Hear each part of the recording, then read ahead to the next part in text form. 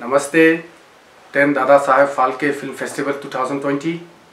I am Kezang Dorji Thongdok, an independent filmmaker from a very beautiful valley called Rupa at Arunachal Pradesh, India.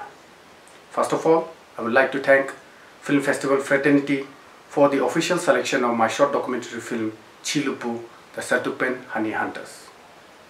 Chi Lupo is my first directorial debut in a short documentary film. Honey hunting is an integral part of custom and tradition of Shertukpen community. Due to modernization, this practice is uh, near to its end.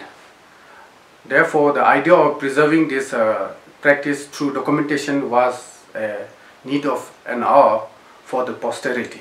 The major part of this film was shot in a dense forest at approximately 4 hours walking distance from the Thongre village at Arunachal Pradesh.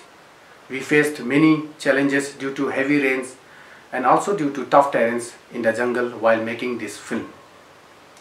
The entire film was shot at a minimum budget of rupees 2 lakhs 50,000 only.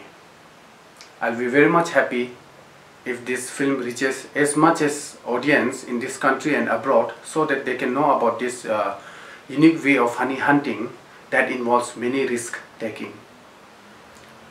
I would like to invite all the investors and distributors who are willing to broadcast this film in the mainstream.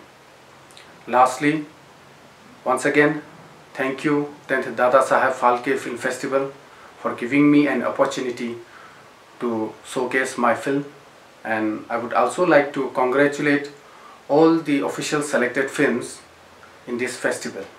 Best wishes and thank you.